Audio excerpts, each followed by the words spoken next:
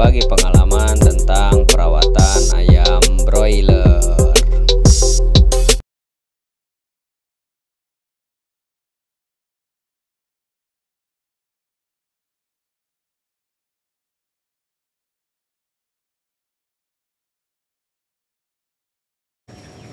Assalamualaikum warahmatullahi wabarakatuh Salam sejahtera buat kita semua Inilah kondisi ayam di umur 25 hari.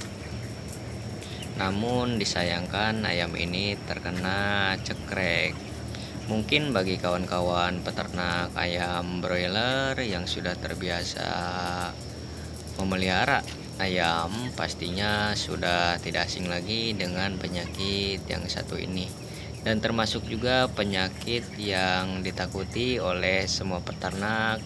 Karena kenapa penyakit ini bisa menyebabkan kerugian pada pakan kenapa bisa kayak gitu? Karena penggunaan pakan atau pemberian pakan namun bisa eh, kurangnya pertumbuhan.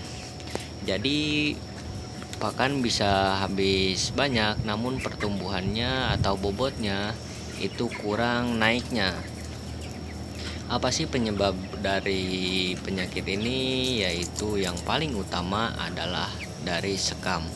Sekam yang lembab ataupun basah yang menimbulkan bau. Nah dari bau itu yang terlalu sering dihisap ayam ayam lama-kelamaan akan berpenyakit yaitu ngorok.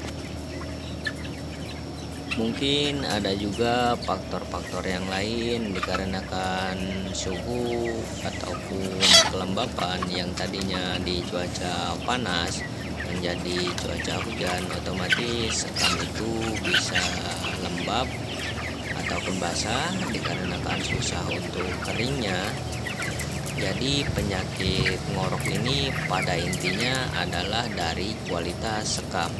Jadi kawan-kawan harus benar-benar memperhatikan kualitas sekam. Diusahakan sekam ini kering dan tidak bau gitu. Walaupun pada dasarnya yang namanya kotoran ayam pastinya bau.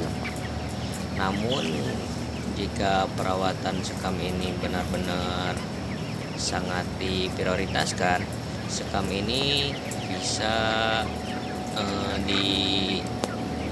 dengan baik dengan cara perawatan penyesetan ataupun penyemprotan agar tidak terlalu bau gitu supaya ayam ini aman tidak terkena penyakit.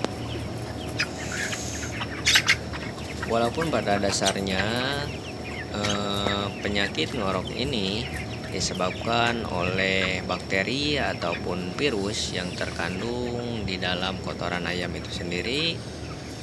Intinya kembali lagi ke sekam dan kotoran itu juga. Jadi harus benar-benar diperhatikan. Bagaimana cara mengatasinya? Untuk penyakit ngorok ini pada ayam saya memberikan kunyit eh, sebanyak 3 kg dengan penggunaan air sebanyak kurang lebih 2 toren karena punya saya torennya kecil sekitar kapasitas 400 liter masing-masing 200 liter. Nah itu dikasih kunyit kunyit sebelum diberikan ke ayam di blender dulu lalu dicampurkan air dan dicampur juga dengan bawang putih sebanyak kurang lebih perbandingan dari kebutuhan bawang putih itu yaitu satu siung bawang putih.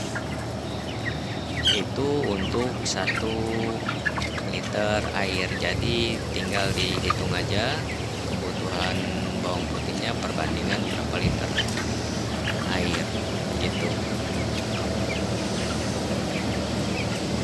berhasil atau tidaknya nanti saya akan coba videokan lagi. Kalau memang berhasil saya akan katakan berhasil. Gitu kalau caranya kurang berhasil saya akan katakan juga tidak berhasil di kawannya karena tujuan saya di sini untuk berbagi pengalaman dan perawatan ayam broiler ini dengan eh, bagaimana untuk pencapaian yang maksimal dengan target minimal IP kurang lebih antara 400 mungkin cukup sekian video kali ini. Mudah-mudahan bisa dijadikan pengetahuan untuk kawan-kawan dan bisa untuk mencapai keinginan yang diinginkan. Cukup sekian terima kasih Assalamualaikum warahmatullahi wabarakatuh. Jangan lupa subscribe dan share ataupun komen. Terima kasih